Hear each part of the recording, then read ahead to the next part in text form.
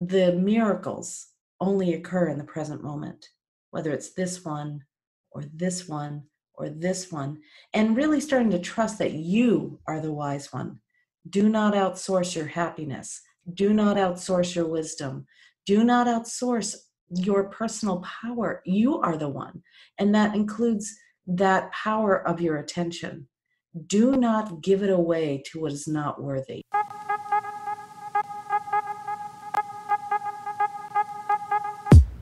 Everyone, it's Vasavi Kumar, licensed therapist and your host of the Being Human with Vasavi podcast. For over two decades, I have been relentless when it comes to understanding and figuring out why we think the way we do, what stops us from going after our dreams, and how to get anything we want in life. From Mind Body Green to VH1 to Fox News and some of the top rated podcasts out there, my message has always been consistent. When you know yourself, you can do anything. I've helped thousands of people from all walks of life, from stay at home moms to entrepreneurs to people in recovery, to start thinking differently and change themselves from the inside out. And I'm going to do the same for you. Whether it's through the interviews I have with my guests or answering your questions right here on the show, here's my promise to you. If you're willing to take action on even 1% of what you hear today, your life will be unrecognizable. Get ready for unfiltered and unscripted conversations with some of the brightest people in mental health, marketing, relationships, and business. We're pulling back the curtain so you can see what it really takes to be human and become the person you want to be. Here on the Being Human with Vasavi podcast. What can I say about Sarah McLean? Um, she is a sparkly individual. And here's what I mean by that. We did this interview on video, uh, which you can find over on my YouTube channel as well if you're a visual person. But just when you hear her speak, there is something she is so present she is so present and she when she just shows up you just feel lit up because that's what 25 years of meditation will do for you. She is she is just a beautiful beautiful person and and I think really the one word that comes to mind is she has this attention that she gives people where you just feel really seen and if you listen to the whole interview, you'll you'll you'll you're going to get a lot from it. I mean, we talk about relationships, we talk about owning your gifts, not giving away your power, and um, just a little bit about her. Sarah McLean is the best-selling Hay House author of Soul Centered. Transform your life in eight weeks with meditation and the power of attention. Awaken to love and its unlimited potential with meditation. She has spent much of her life seeking and teaching peace, and she began working with Deepak Chopra back in the 90s. And that's what she fell in love with meditation and mind body health. So, for over 23 years, she's been teaching meditation and mindfulness. Her personal mission is to support those who seek fulfilling lives, better health, inner peace, and ways to manage their stress through the program she has created through her institute, the McLean Meditation Institute in Sedona, Arizona, which I've actually been there personally. She's dedicated to helping people wake up to the wonder and beauty of their own lives and the world around them. So if you've ever said to yourself, I can't meditate, it's too hard, I have too many thoughts, you got to listen to this episode because she's going to break it down. She's going to break it down and you're going to walk away being like, you know what? It's not about being perfect, right? It's anybody. She she specifically says, and I don't want to clue you in too much because I want you to listen to the full episode. But she goes, you can't fail at meditation. So go ahead and listen to this episode. Sit back, enjoy, and um, just just soak it all in. Sarah, I am so. It's like it's such a beautiful feeling to be talking to you because I remember the first time I met you. I've met you twice in person. First time was in Sedona we went to we went to the McLean Meditation Center. My sister and I we went for a meditation retreat. Second time I saw you was at the Celebrate Your Life conference, I believe, in Chicago.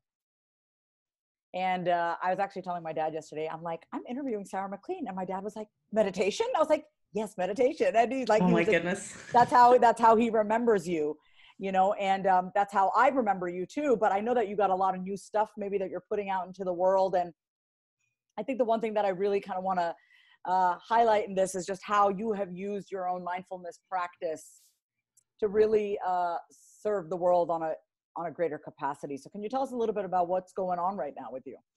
Right now, what's going on? Well, I last uh, year or two, I moved about five times. I actually moved from Sedona to a couple of different spots before I ended up where I am now, which is Heaven on Earth, which uh, it's in the Santa Barbara County area. and I get to in the very far distance I get to see the ocean where I get to go every day.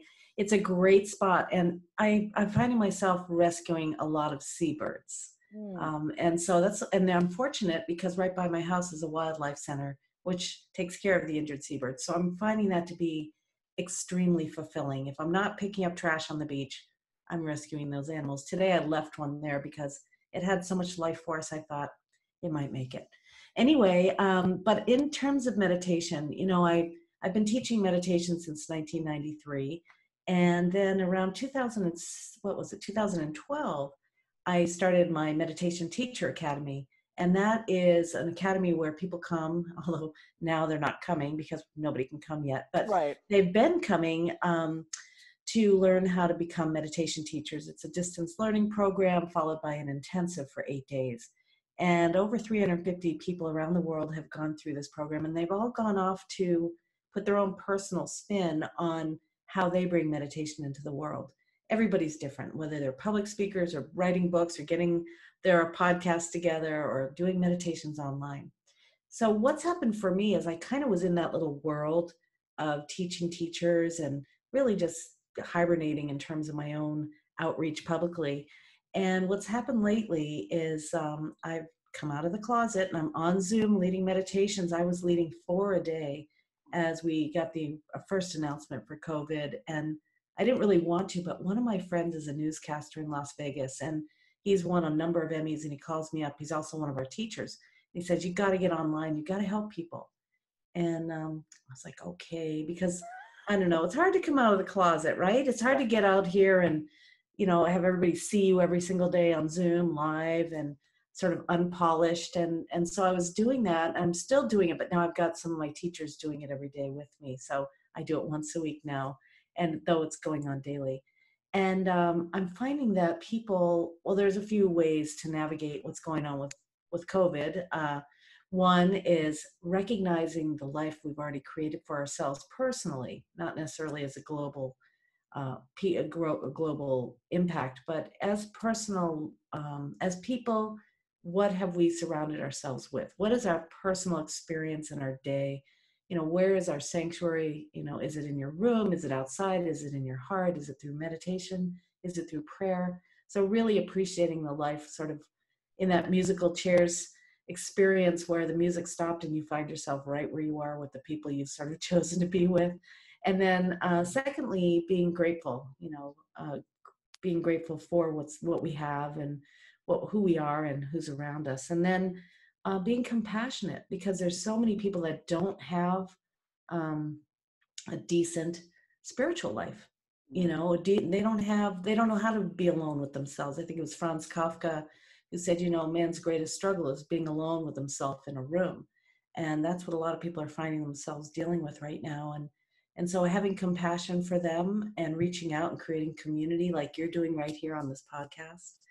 And then uh, third, really being um, present as much as possible in everyday interactions. You know, I mean, I can be checked out. I was a little checked out when you called because I was writing a post about uh, what's going on in the world besides COVID um, which I think everybody should move to the prefrontal cortex of their brain and move out of the fight or flight response and check out what else is going on instead of walking around in this masked fear-based uh, existence i love the word first of all it's okay I, because i knew that you were just finishing up something so like it, it's not a big deal. I think acknowledging it though like hey i'm not present right now i'm doing this like that's really all it is and you did that so it's like i, I don't I I uh, I don't get offended easily like I used to because I'm like it's nothing personal you're, and you're not offending me like I, I don't like to be highly offended by things because that robs me of my peace you know? So um, I love that you are obviously taking your work you've had to go a little bit more online now because of everything going on and uh, you know since we're recording this right now during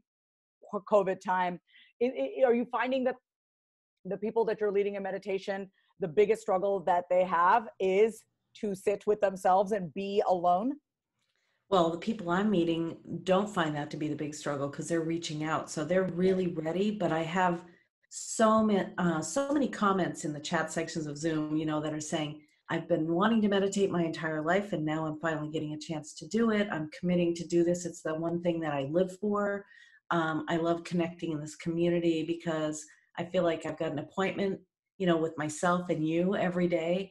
And I really feel like some people are adopting this as a mode of survival to uh, literally counterbalance the fight or flight response with the uh, parasympathetic response and to to move away from the fear because if you're sitting at home alone your company is the television set or the internet there can be a lot of horror stories that you're reading. And whether they're true or not the mind doesn't know the difference actually the brain doesn't know the difference. And you know you could scare yourself and what does that do? Lower your immune system it starts to make you feel alienated from the world start to feel unsafe wherever you are. Uh, nobody needs that. And so I feel like I'm offering an alternative to scaring the daylights out of yourself. Yeah, it's really easy, especially if you're like consuming Fox News on the daily, right? Like to really feel like you are, yeah. uh, like you're in fight or flight. And I like that. You know, I got to tell you, being with myself has never been easy for me in the past, which is why I'd resorted to drugs and alcohol. And uh, in, in this, I, I say to people, my quarantine hasn't been difficult for me because when I was in recovery this past year, I quarantined myself I had to remove myself from people, places, and things to not go down that path of addiction, drugs, and alcohol anymore. So quarantine has been very normal for me, but I know for a lot of people, there's a, you know, it, it can get dark and heavy when we're with the thoughts in our head. And I, I would love to hear from you, you know, for that person, because I know the people listening, either they have a meditation practice or they've started. And then there's also that camp of people that's maybe like, I don't know how to meditate or I can't sit still, or I have too many thoughts. What is your simple, tangible action that that person who feels like I can't sit still, I can't be with my thoughts, what would you say to them? Well, it isn't always easy to turn your attention inward. And like I said earlier, take time out for a time in and meet your own mind. It is not necessarily easy and it is simple, but I've come up with five essentials, and I and I really urge you. And I'm not trying to promote myself, but I urge you to to really use these essentials when it comes time to meditate, um, because anybody can meditate. I've never met anyone who can't, even people with ADHD and really uh, type A personalities, and people who are depressed or suicidal. Listen, everybody can meditate, but this is what you need for every meditation. You need three ingredients. Mm-hmm. The first is your gentle, non-judgmental attention so that's a trick for some people because most people are attention they have attention but it's filled with self-hatred or hating other people or comparing themselves with others or seeing the world with an unfriendly attitude. So just bearing down your attention un- having this attention that might be the same attention you look at the clouds with instead of judging everything. The Wait, second ingredient oh go ahead. I, I, I just i had to say this because i love that you use the example of the cloud because it's like I think of it like if I'm looking at a beautiful tree, if I'm looking at running water, you know, just like a beautiful lake, I'm not sitting there judging it. You're just observing it like, oh, that's, and there's no energy around it, right? You're right. Almost appreciating. I, I love that example. I just wanted to highlight. Well, you know, most of us have an encumbered or conditioned attention. You know, when you look at yourself in the mirror, you get this, whatever, this self hatred or thinking you're fantastic or whatever. Everybody's got some accompaniment to their bandwidth of attention. So really stripping it down and just noticing, noticing. Mm-hmm. Um, even prior to the attention, what you need for meditation is your willingness to give it a shot. Mm-hmm. And that's usually accompanied by some sort of, uh, they call it sankalpa, but some sort of commitment or intention and some or resolve. And what might that be? It could be like, I want to uh, help myself on the path to recovery. It could be I want to be less lonely. It could be, in my case, it was I want to feel more love. Uh, it could be that I need to create more peace or get rid of my anxiety or, you know, be less depressed. So whatever you meet that meditation with, that is your first thing, your commitment, and you have to stick with the practice in order for any benefits to show up. Mm-hmm. Second ingredient is that gentle, open awareness. The third ingredient for every meditation is what you put your attention on you can't just magically close your eyes and have nirvana. I mean, it does not work that way. What you do want to do is choose something to put your attention on, whether it's a visual object or a sound object or even a sensation like the sensation of your breath. Okay, so now that you've got the three ingredients and you can you can find teachers everywhere who will kind of give you some particular meditation and one size did not fit all and brand names are not any better than actual techniques. So don't fall for the brand name exclusivity trap. Just know you've got it's natural, you've got everything you need. the, the five essentials is really what makes a difference for most people. And here what here's what they are. First, it's okay to have thoughts. It's okay that you're sitting here maybe paying attention to your breath or counting your breaths as some people do, and all of a sudden think about uh, what you're going to have for lunch or figuring out what that noise is outside or think considering a, a conversation you had earlier. Your job in meditation is to keep on bringing your attention back to mm-hmm. whatever it is that you had chosen doesn't that doesn't that help i mean that's i think what we talked about years ago years ago in my meditation center. Uh, second here's a really key a key element for meditation. Number two be nice to yourself. Sounds easy. Not everybody is. They say nasty things themselves all day long.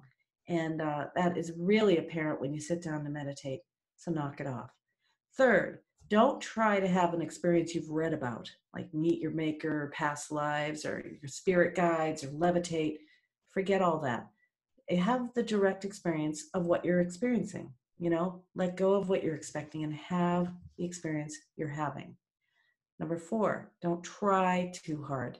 If you are a Star Wars fan, you might remember Yoda saying, do or do not. There is no try. There is no try in meditation. It's you and what you're putting your attention on and the unencumbered experience between you, the subject, and that, the object, and just noticing. And eventually, the duality dissipates and you'll be in a little peaceful place, even for a nanosecond. Then you have the thought, what's for lunch? Or I should call that person back. And then you start your meditation again. It doesn't mean you're failing because you get interrupted. So don't try to have you know an experience that you're not having and lastly uh, stick with the practice and that goes back to that first thing we talked about your resolve if you want to give it a shot for five minutes do five minutes don't stop at three you know if you want to do for 10 minutes don't stop at eight do it when it gets difficult and this is what changes the landscape of your brain the amygdala which has been hijacked by this covid and the news and your own thoughts about your own mortality um, that is what's going to hijack your attention. It actually makes your attention go from a very wide, expanded awareness to like a periscope, searching the world for the enemy. And what we want to do in meditation is activate the prefrontal cortex, the major part of your neocortex, which is the executive functioning of your brain, which will say, hey, wait a minute. You don't have to believe everything you think, number one. Hey, wait a minute. You don't have to believe everything you hear hey, wait a minute, maybe there's something more than what meets the eye. It's the executive functioning that's got a handle on things rather than the one hit wonder of the amygdala, which wants to kind of freak you out and set your whole body into some sort of fight or flight response on a regular basis, which is absolutely unsustainable. Okay, there's so much. I love all of it, but two things stuck out for me, uh, out of those five ingredients, obviously all of them are essential, uh, yes. uh, I, and they all and they all. But like for, I, I'm just thinking about, um, you know, for the people that I know are listening, and the first thing, the the first ingredient, which is it's okay to have thoughts. It's just that permission slip, right? We have a brain. We are going to have a multitude of thoughts going in, and it's okay. And I think a lot of times people go in starting meditation like i'm supposed to be thoughtless and like going in with that mentality setting yourself up for just i don't want to say failure but it's just setting yourself up to just be defeated and not stick with the practice yeah. so i love i love that it's okay to have thoughts you're going to have thoughts and um you know i was going to say uh, while i love to be nice to yourself i mean even even on my voicemail i say do something kind for yourself today i love that because i think it's important that we're gentle i really love the ingredient of don't try to have an experience. Like, don't manipulate the situation or don't like, so essentially be detached from the outcome. Just the experience is, it just is, right? Yeah. What it, yeah. It works even if you don't think it's working. That's the thing about it. It's working even, it's like going to the gym going, eh, this isn't working, but you know, it, it does work if you're doing it. Same with meditation. Your particular subjective experience does not matter objectively it's working it's changing the landscape of your brain it's literally changing the way your brain is operating increasing the density of the neocortex decreasing the amygdala's density literally and so you know about the thoughts though uh, you're absolutely right. The first thing people do is immediately think they're failing, whether you use that word or not. They think there's something wrong with them. And I can tell you, everybody has thoughts. It's the nature of your mind to think. If you start to meditate and turn your attention inward, you're just going to hear your monologue a little louder.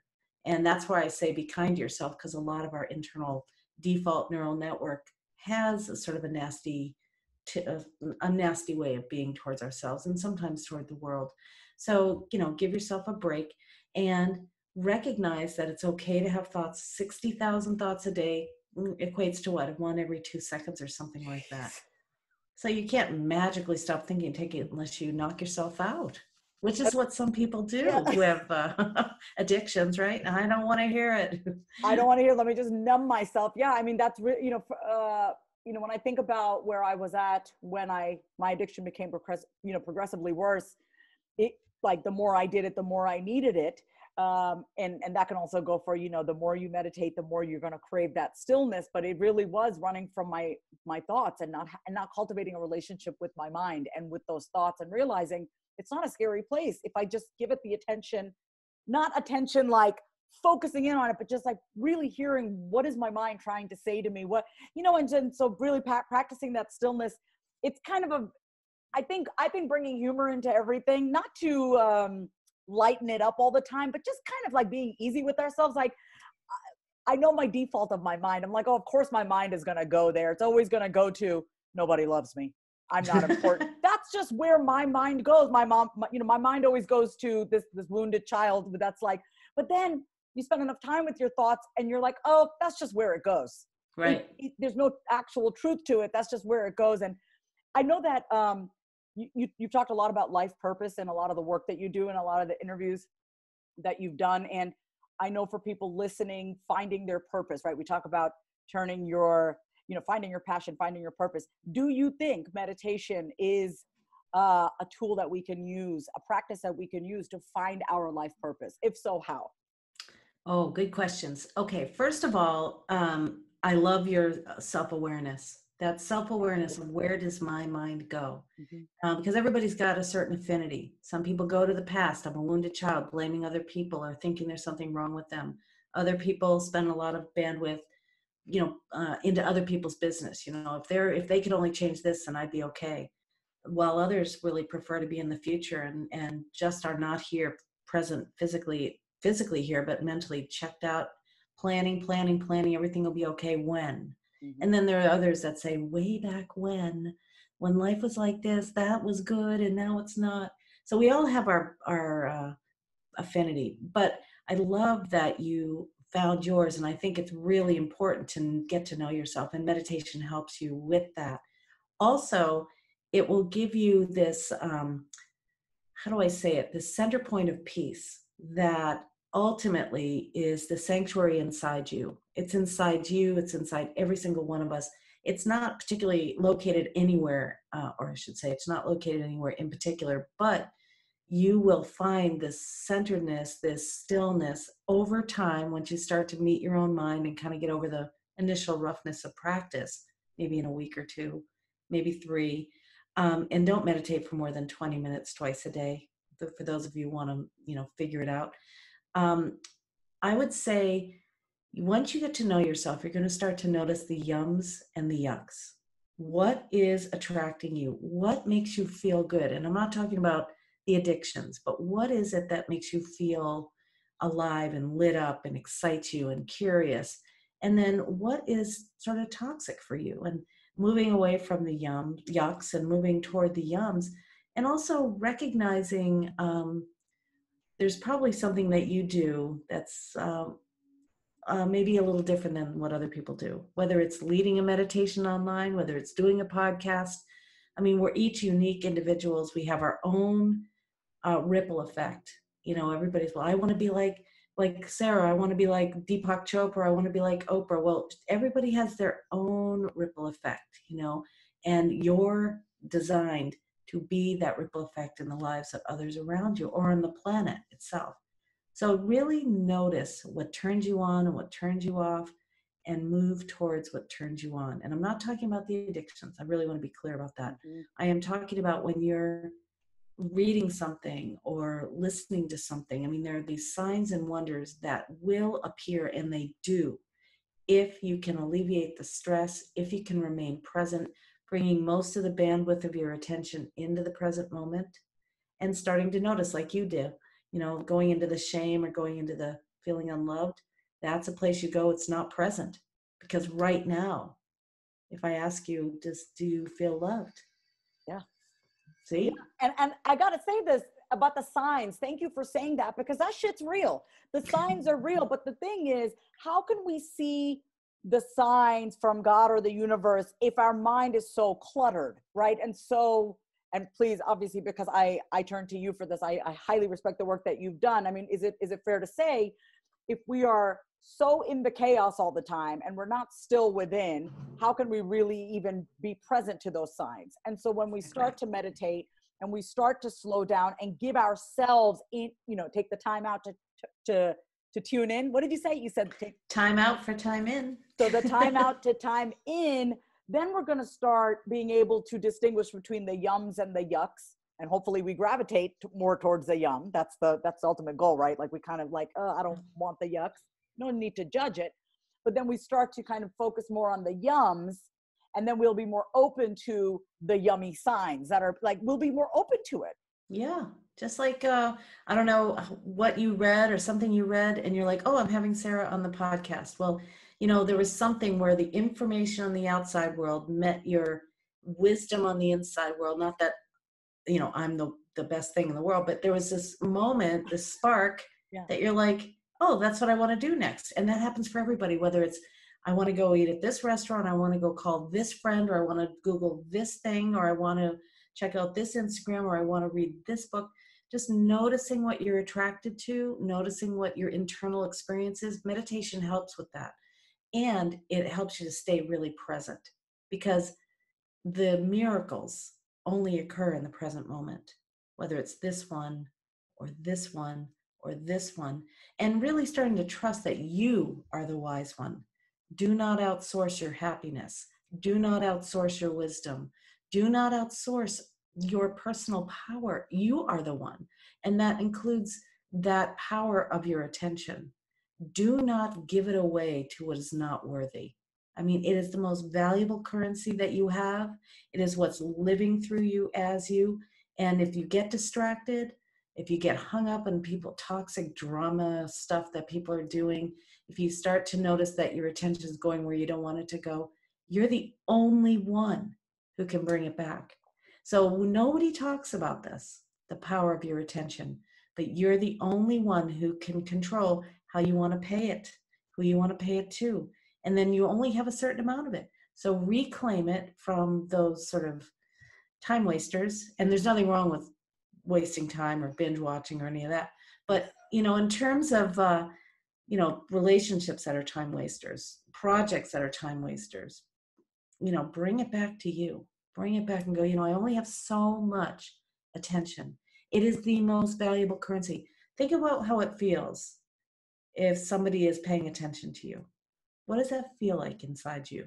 it's um th- that's a great question thank you for asking me that i i feel like uh it, it's new for me because i'm usually paying attention to other people so i give myself a lot of attention but when i get that actual attention from somebody i start to feel giggly on the inside like something just it's like electric it's like oh, all, everything's on me it's like and it's not in a oh look at me in front of the camera like that it's like presence when someone is actually like Vasavi, I mean, you want to know the best way to my heart is to ask me how I'm feeling just be like, how are you feeling today? Just that attention is like, uh, you know, I, I'm like silly putty.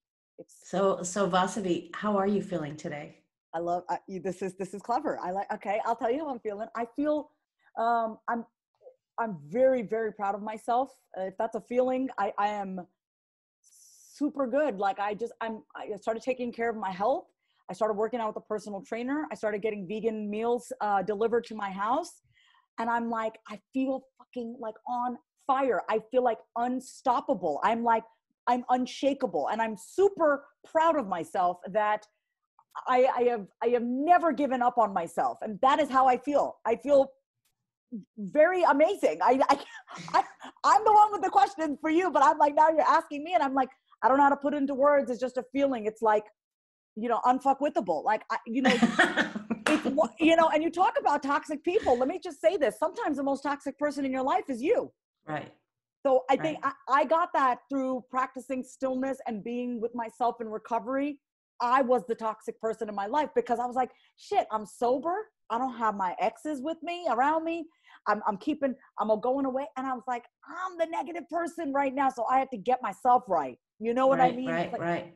So, but you didn't know that until you took a moment and to, to started to feel into it. And I feel like, so let's get back to this. Yeah. So attention makes somebody come alive, right? Mm, attention makes someone comes alive. It made you come alive. And I just have a quick question. You feel proud of yourself. Where in your body do you feel that? It's all chest area. It's like oh. uh it's neck to chest, like this whole heart in my heart, in my whole yeah. chest. Yeah. Cool. Yeah. So the thing is, attention brings everything alive. Whatever you imagine that your attention, and this is for everybody, is like a beam and it lights up whatever it's put on. And that's why everybody wants your attention, whether they're trying to get you to buy something or say something or recommend something or like something or share something or give you something. Everybody is in search of attention. Everybody.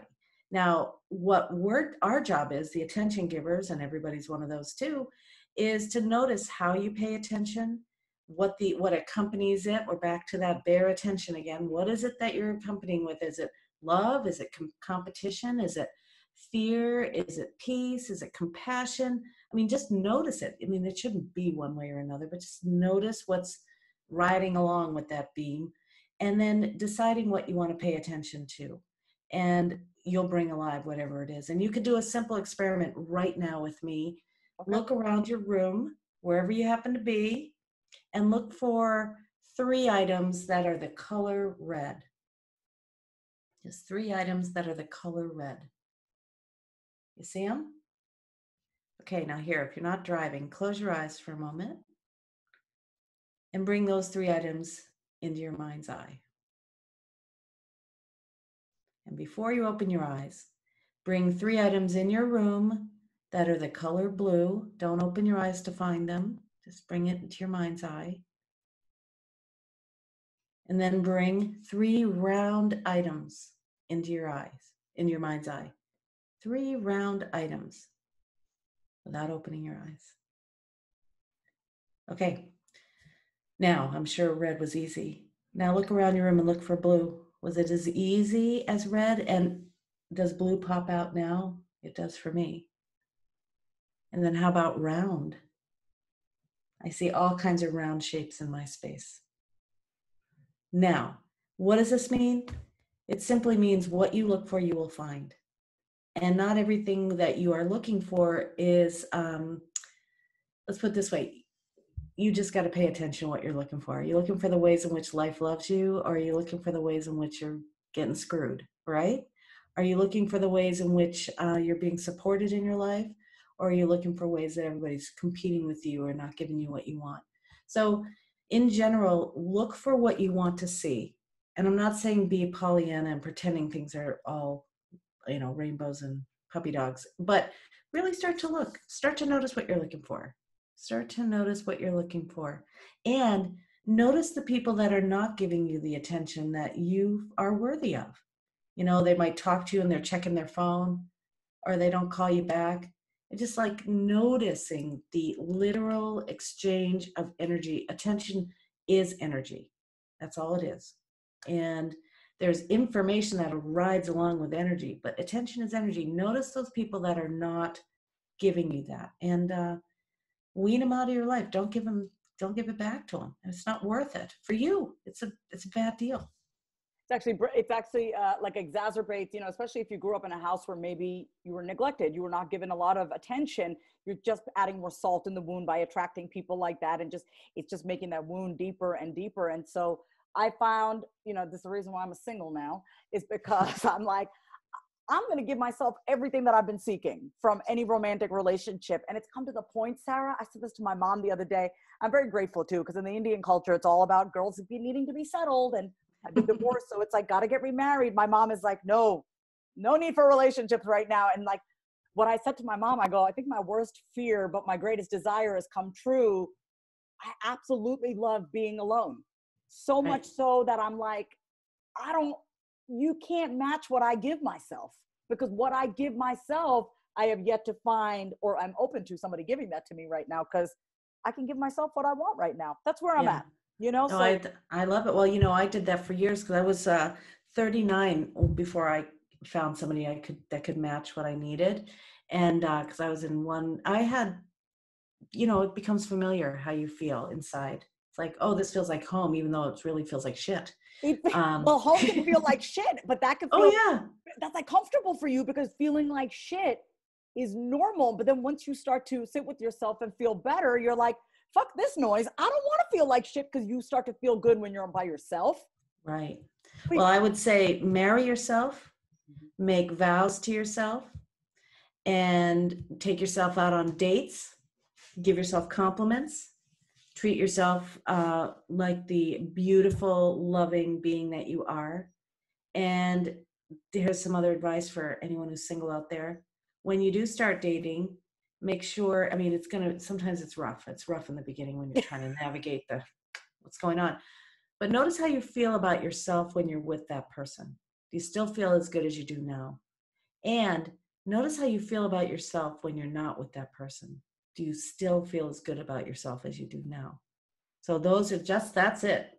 It's the, it's the measurement of it. Do you feel good with that person about about yourself? Do you feel good when you're not with that person about yourself? That's just as simple. And so marry yourself, take those vows like I'll never leave you, Mm. I'll always love you, you know, only you, all, all those things. And then um, just start navigating the navigating relationship with with self-awareness. How am I doing? Am I outsourcing my happiness? Because if that's the case, it's not a stable way to live. That's like a book title that needs to happen for you. Yeah, I do. That is that is really you know we, we like outsource customer service, but we really should not be outsourcing our wisdom and our happiness. That's um, right. And our peace. and our and our peace. So this is the section uh, that I've been asking everybody, um, and I'm I am going to edit this, so like it's fine if there are any hiccups. But um, here's a few questions that I want to ask towards the remainder of our of our interview. So, being that this is the Being Human with Vasavi podcast, Sarah, what makes you uniquely human? Wow. You didn't expect that, did you? No, I didn't. I love the unexpected. Um, I think, well, I, I every human's unique, so that that's one thing. But I think for me, um, I'm really excited about whatever's going to happen next, whether it's in this moment or a wild question like that. I'm really excited about it. I'm very open. I'm very curious. Um, I'm always ready to be amazed. I'm always ready to connect to people. I feel very open hearted and open minded. Um, I'm also willing to ask really tough questions. I have a very deep relationship with um, whatever this animating force is, you know, whether you call it Brahman or you call it God or whether you call it uh, the source. Uh, I feel very connected and feel like I'm being moved in because of it in ways that uh, maybe I wouldn't choose. Um, I also, yeah, I think that's really it. I feel I'm. I also have at this point in my mind. I don't know if this is really true. I feel fearless in terms of mortality. So Yes, I love that. Mhm. Um, okay, so was there ever a time where you felt like you had to put on a facade and you couldn't show up in your full humanity? Well, yeah, probably my first on until I started meditating until I was about 27, 28. And even in the beginning of meditation, I had these bumper stickers like it's all good and pretending to be spiritual when I was just like, fuck you. And, um, you know, so at the beginning, I think it was a little rough. And then I realized, wait a minute. And I think Gandhi said this, you know, how what you think and feel and say and do, when they're all in alignment, that brings a lot of happiness and that's really how i am now and i feel like back to meditation again for me it has been you know most people meditate a little bit i've basically spent my entire life after the age of 26 or so in ashrams and monasteries, living in communities, TM communities and centers, and teaching and living the meditative lifestyle. Um, so it's really a part of me. It's not something I just did because it's cool now. It's actually was very weird when I started, but I can tell you that it's giving me a lot of confidence. Um, it makes me feel like I can really trust the input, the impulses that come through my body and, and come from my heart and so I have a lot of fearlessness. Mm-hmm. I should be saying something right now, but I'm kind of more in awe. I'm just kind of staring at you. So I should probably get on with my next question. I'm like, because I feel it. You know what I what I love about you so much is that I feel when I'm around you, like even though we're virtual right now, like I know that Sarah's showing up and she's just like present and there is power in that presence. Do you know what i mean? Like and i and it's years i don't know how old you are you don't need to tell me if you don't want to but years of you meditating and becoming one with yourself and knowing your own duality and doing whatever you have to do every day to become more one with yourself. So you do show up as like what you see is what you get. And there is power in that right? Because i can spot insecurity a mile away. I can smell it when someone's like saying one thing doing another thing and that rubs off on me in a way. I'm like, oh, I can feel that. It feels a little yucky.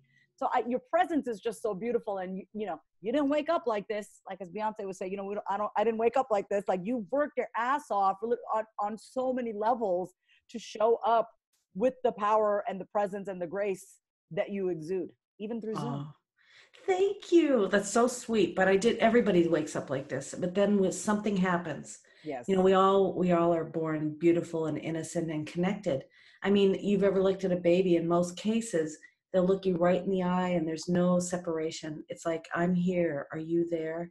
Oh. Or more more likely it's we here we are.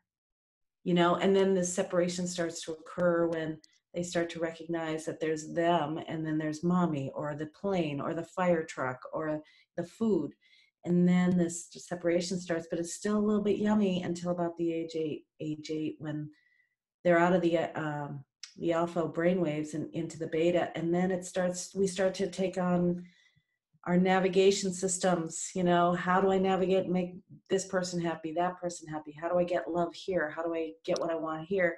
And so i think we all actually wake up like this or born this way. Mm. and then we go through hell. A lot of us some of us don't go through hell which good good for you good karma. And then um, then we come back to uh, being able to be present and love ourselves. And I don't know if it has to do with age. It could because now I'm almost 60, so it could be that. But um, it also could be that I've done some work. And you know, my life is just like yours. I get up just like you. I I meditate. I get on Zoom or I teach my teachers or I connect with my friends. I go for my beach walk and I go feed my dogs. I mean, I'm not having a I mean, I live with a meditator, so that's good too. And I'm vegetarian, which is always good, mostly vegan, dairy free.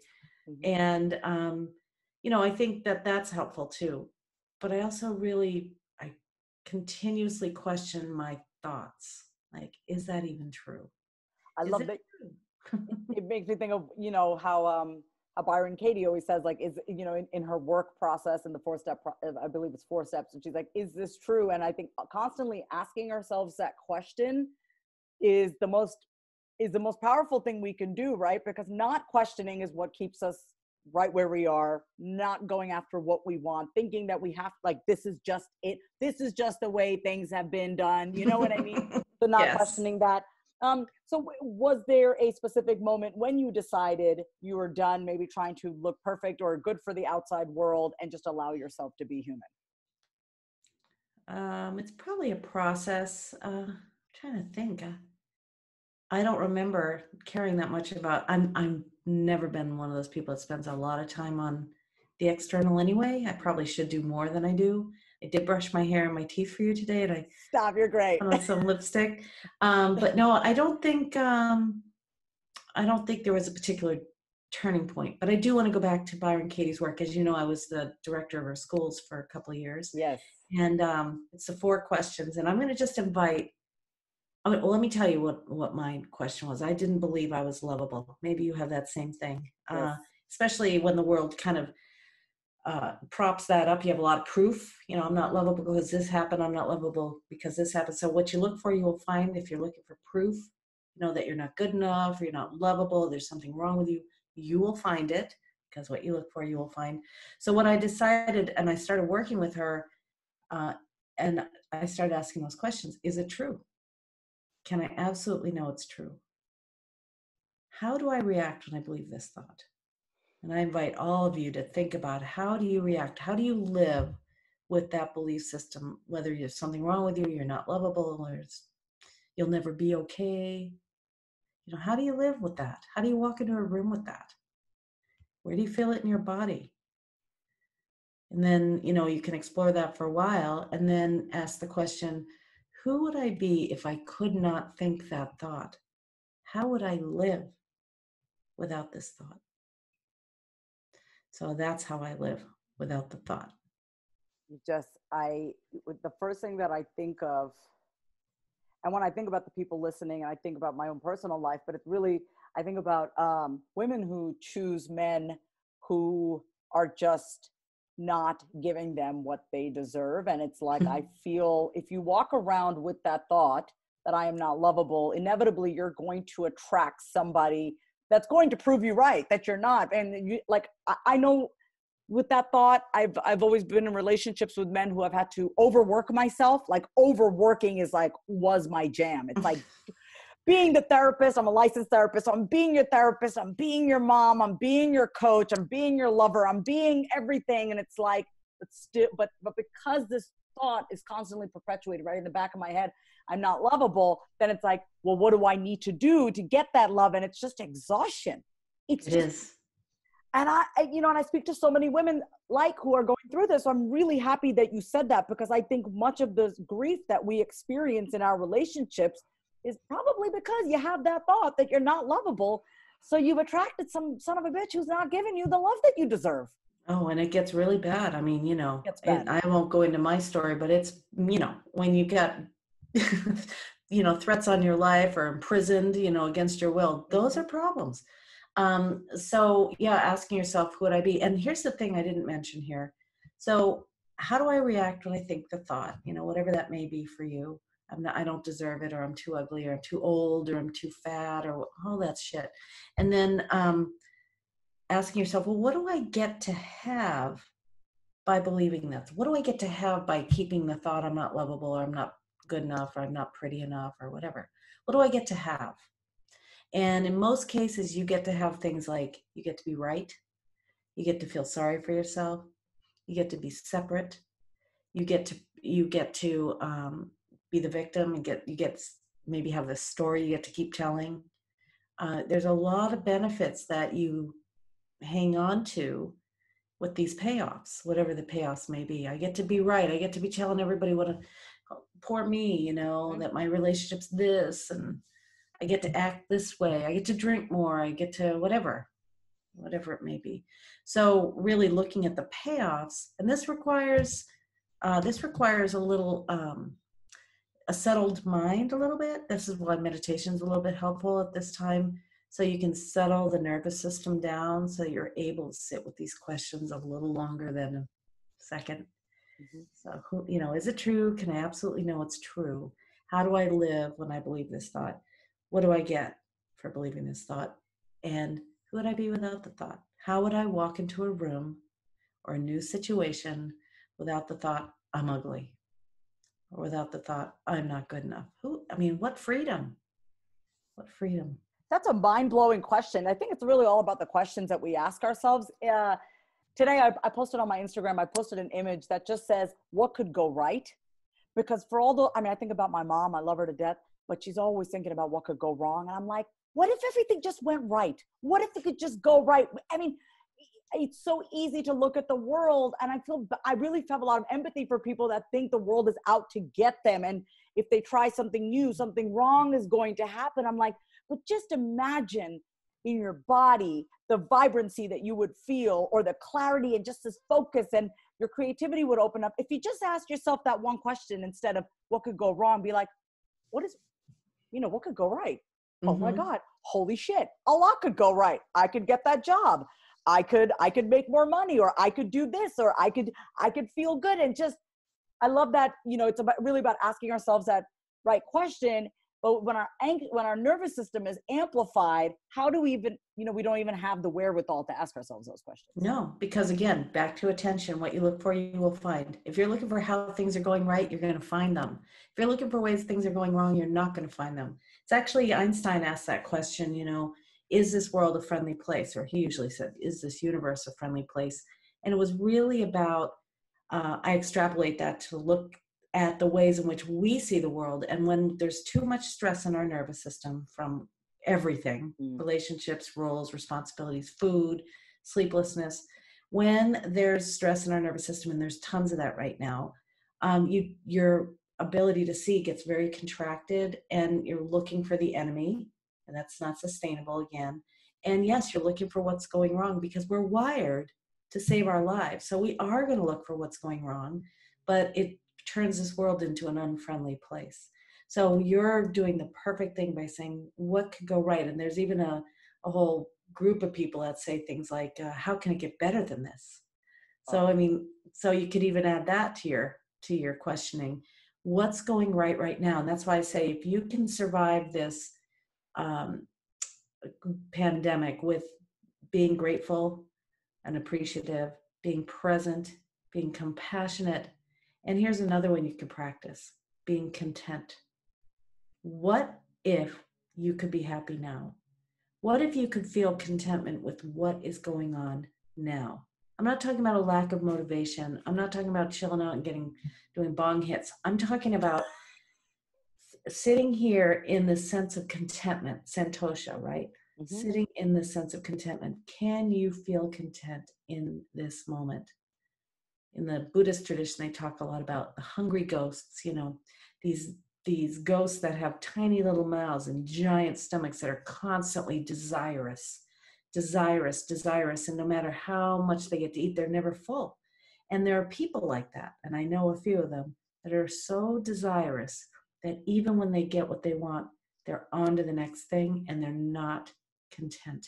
So that's a practice. It's a spiritual practice. It's also a gift of meditation to practice being content?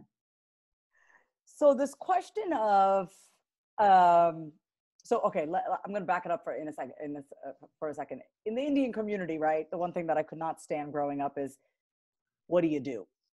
I mean, I, I think it's common in a lot of cultures and stuff, but in the Indian community, like I remember as a like as a young twenty something year old, I didn't go to an Ivy League at the time. I got my master's in Columbia later on, but I remember as always like, what do you do? right? And I don't like that question because I feel like you're just trying to put me in a box. And for me, it was always important that I could answer the question for myself who am I? Who am I? And the other day, someone asked me, Who am I? They wanted me to introduce myself. I said, Well, I'm, I'm a child of God. I'm a kind, loving child of God. I felt a lot of freedom in answering that because what I didn't want to say is, oh, I'm a licensed therapist. I'm a this. These are all my titles. Look at that. And it just felt like box, box, box. And I'm and so I'm putting myself in a box and labels and so i'm just curious to know have you have you through meditation been able like how do you answer that question who am i who am i oh gosh um, well yes i can answer that question i would say that i am i would say i'm love and you are too i feel like there's love that lives through me as me lives through you as you lives through every single thing. It's not love as a sentiment, it's love as a force and lives through every single thing. And it's calling each one of us forth, forth to wake up to it. Um, so I would say that, but that's not always, you know, a cocktail par- party talk, or it doesn't work necessarily. Um, people, you know, you have to help. You have to be compassionate here. Not that you're not, because I know you are, but you know, give people that sense of safety. Because if you answer that question, they don't. If I say I'm love, uh, they'd be like, yeah, right. She's crazy. So you got to say, well, you know, I've had this experience. I've had this experience. Mm. So if you you say, who am I? I've had the experience of doing this and this and this. It helps them feel safe. So we do it because we want to be compassionate. But in general, for each one of us, we should always ask the question, who am I outside of the responsibilities I hold, the relationships I'm in, the roles I play, outside of my age, outside of my weight, outside of how many times I've been married, how many kids I don't or do have, you know, outside of all of those numbers and letters, and again, external reference points, who are we? And you're right on track here. You know, and for those of you who don't know how to answer that question, think about here's something for you. It's a quickie. Ready? Mm-hmm. Think about somebody that you absolutely admire. And uh, it could be someone alive or dead or a fairy tale character. Uh, think of someone you admire and then identify three reasons that you admire them, three qualities maybe of their personality or their character that you admire them. Thinking about that.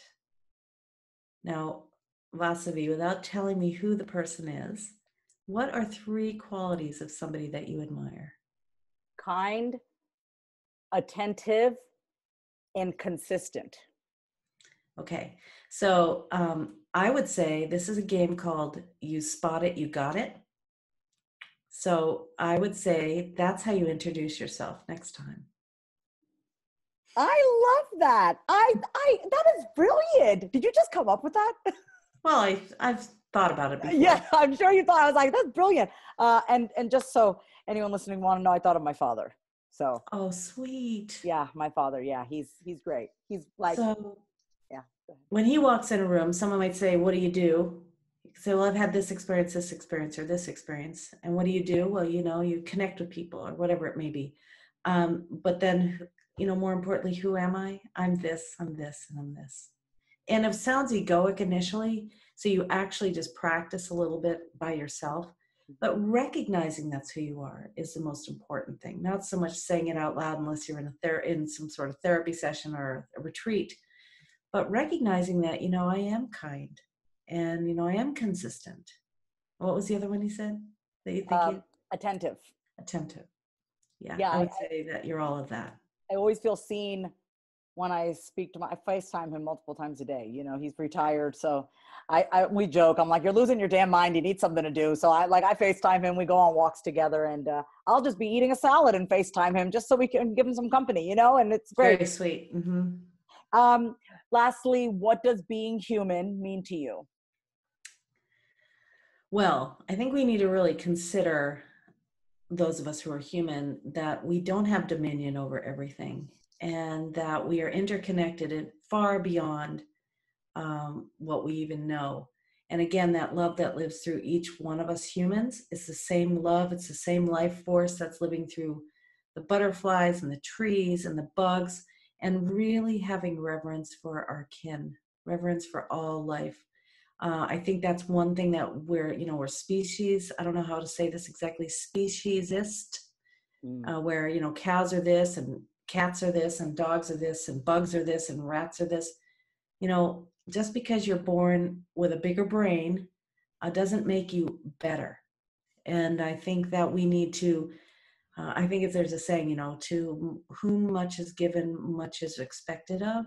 Mm-hmm. Um, I think we need to live up to the possibilities of our humanity, which include being respectful of all life, recognizing the interconnectedness between ourselves and everyone else, walking lightly on this earth, um, leaving it better than we found it.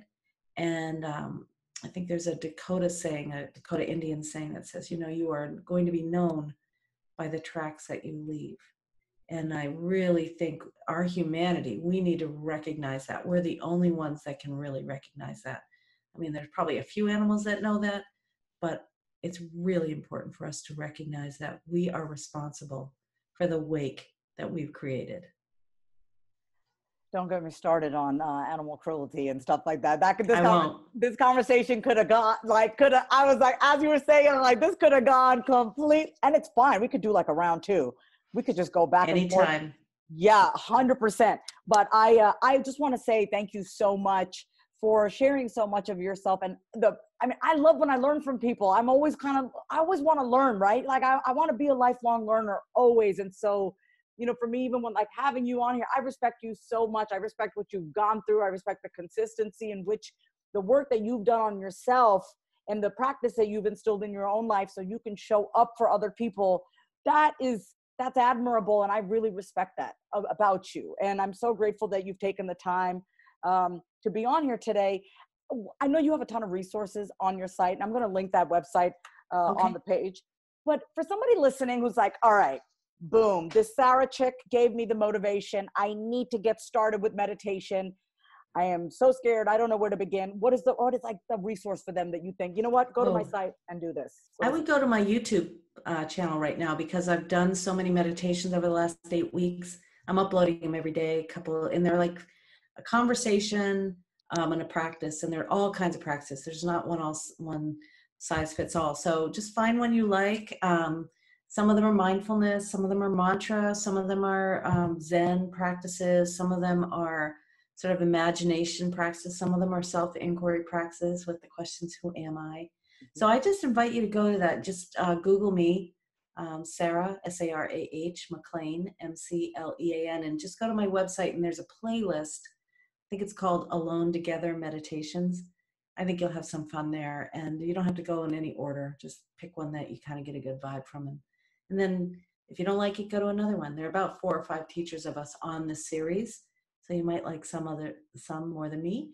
But um, you know, you cannot fail at meditation. I've never met anyone who can't do it. So I definitely think you should give it a shot for sure. Well, thank you so. Oh, sorry. Go ahead. Go ahead. I want to say something to you. Yeah. I really admire your consistency. I admire, admire your curiosity and your verve. I admire your willingness to keep showing up, even though you've gone through so much and you're transparent. Somebody said to me in, last night, I was on a Zoom call with a friend, and um, she's like, Well, have you ever really taken a look at your shadow self? And of course, I've done a lot of shadow work, but I don't do it so much anymore, and probably I should. But I said, You know, I, I'm transparent, and transparent's people don't cast shadows. And I feel like you're transparent. And I love that about you. And you're so authentic and consistent. And keep going. Keep going. Thank you so much for being here today, Sarah. Thank you. Thank you so much for listening to today's episode on the Being Human with Vasavi podcast. For even more inspiration, motivation, and no BS advice on how to get anything you want in life, book a call with me over at vasavikumar.com. If you love today's episode, be sure to screenshot it and tag me at Higher Vasavi, H I G H E R Vasavi. Feeling extra generous? Leave the podcast a positive review on iTunes. And remember this when you know yourself, you can be, do, and have anything you want.